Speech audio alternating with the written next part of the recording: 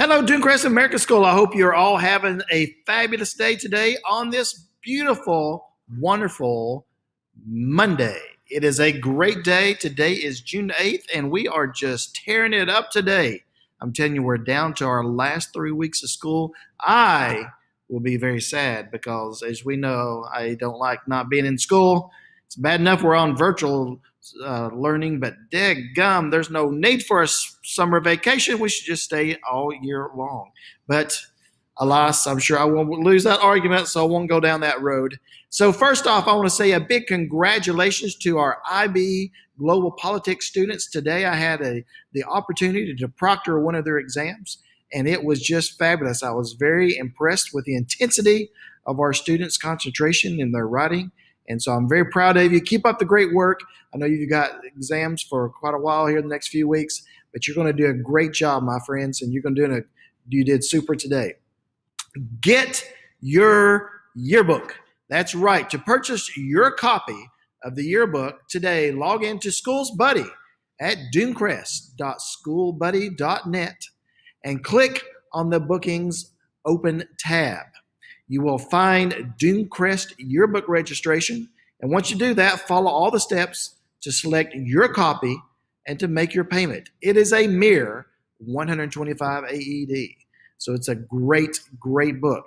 Once you have completed all the steps and made your payments, you will receive a confirmation email, and we will have these ready for you to pick up uh, towards the end of the school year. So we'll have those ready here soon and it will be fabulous. So make sure that you get your yearbook today. This is for students grades pre K all the way up to grade 11. And as soon as we get back to school and get everybody around, we'll do a signature parties and make sure we get lots of signatures in our yearbook. But for in the meantime, order your yearbook today. I'd also like to say a big congratulations to our elementary students who had a virtual art show. And so I'm going to share a little bit of that right now with everybody. Oops, let's let's not do that. Uh, let's uh, share this with everybody right now. I want you to see some of this amazing artwork we did. I just threw this one in there because you know what? That is the picture of our our school, our staff. We all miss you, but we are loving the Dunecrest Elementary School art show, and they uh, their theme this year was Live Your Life in Full Color. And my goodness, did they do that?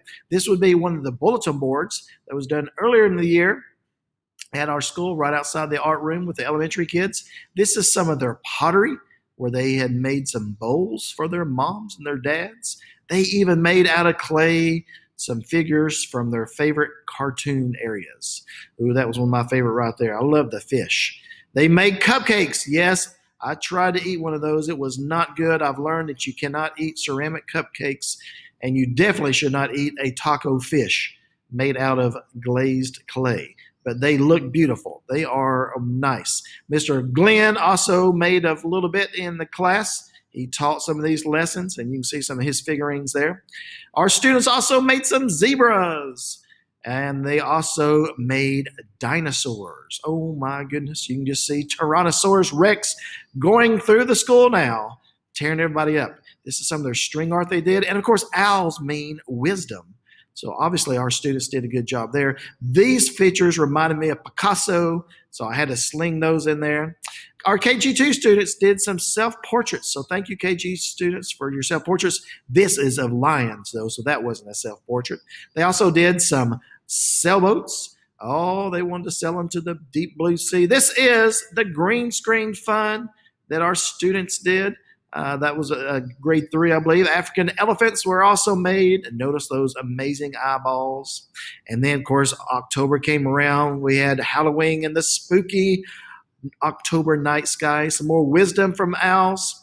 And then, yes, we started decorating using bright colors and just making sure everything looks so beautiful. As you can see, the plate art was just fantastic. It's still on display at school now.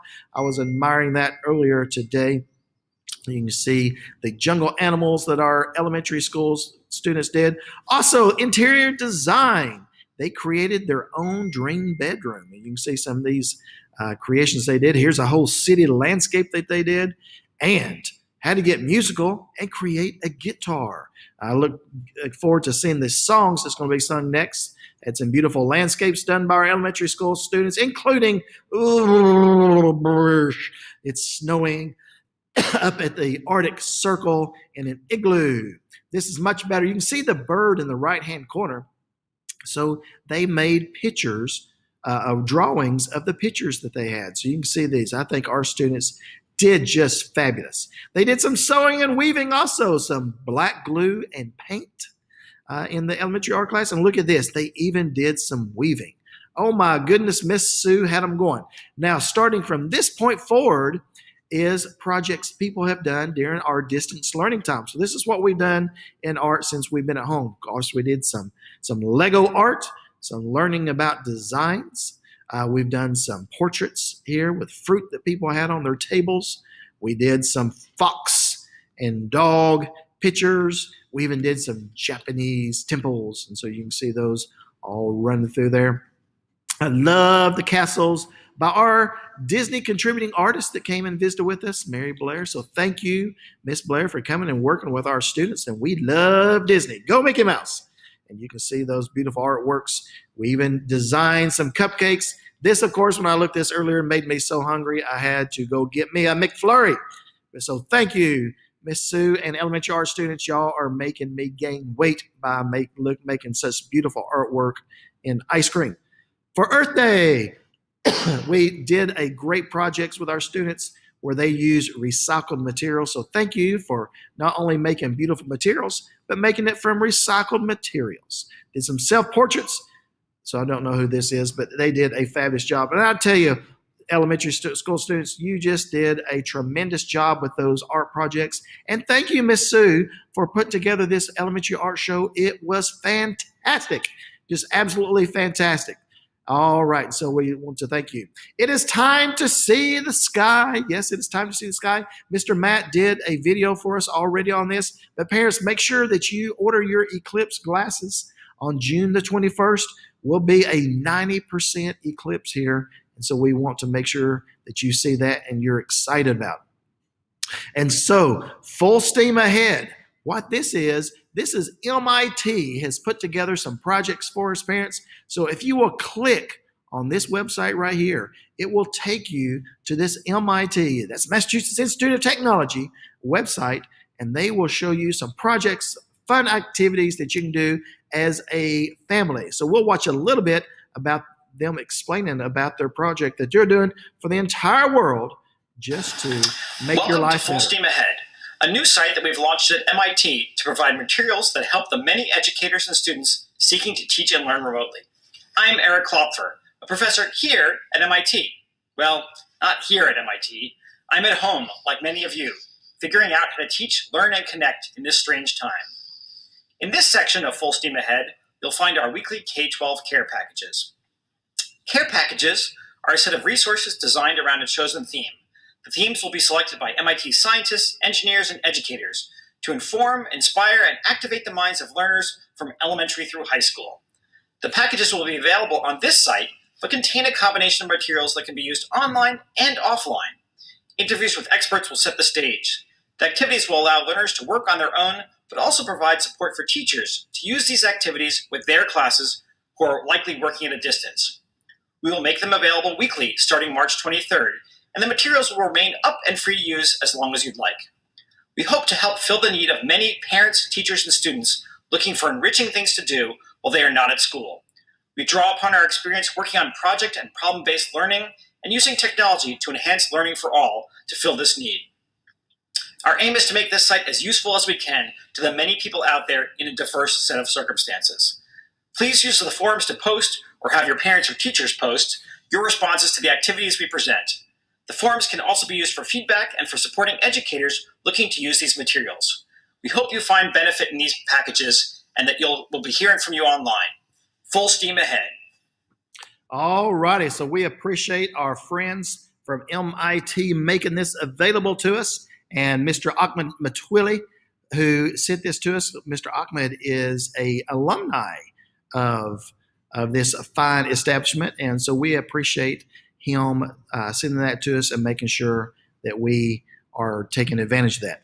You know, this this week across the world, unfortunately, we've had another negative event, uh, and I'm not talking about the COVID nineteen this time, but you know, there anytime that there's any acts of violence, it does affect us all. And there's been protests, obviously, as we've seen across the globe.